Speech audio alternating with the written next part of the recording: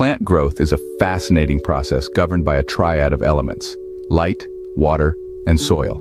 These are the pillars of plant care, each playing a critical role in determining how well your green friends will grow. Let's start with light.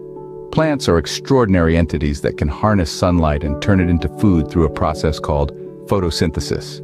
Understanding the light requirements of your plants and ensuring they receive the right amount of light is fundamental for their growth. And for those cloudy days or darker corners, artificial grow lights can come to the rescue, ensuring the photosynthesis process never skips a beat. Watering techniques are the next crucial aspect. The right balance of water is key. Too little or too much can be harmful. Regularly watering your plants, using well-draining soil, and taking into account factors such as humidity and season can help you maintain this equilibrium. Moving on to soil.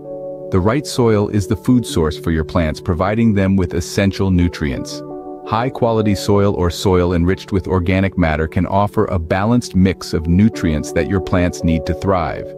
Then there's the art of pruning. Trimming your plants might seem counterproductive, but it's a proven method to encourage new growth. Regularly removing dead or yellowing leaves and strategic pruning can redirect energy to the growing parts of the plant, promoting faster, healthier development. Finally, we can't forget about the unsung heroes of plant growth, the roots. Monitoring root health, choosing the right-sized pots, and ensuring proper drainage can significantly contribute to a plant's overall health. And there you have it.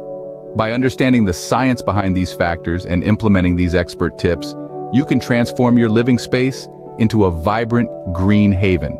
Remember to like, subscribe, and share if you found this information helpful. Stay tuned for more scientifically backed plant care tips. Until next time, happy growing.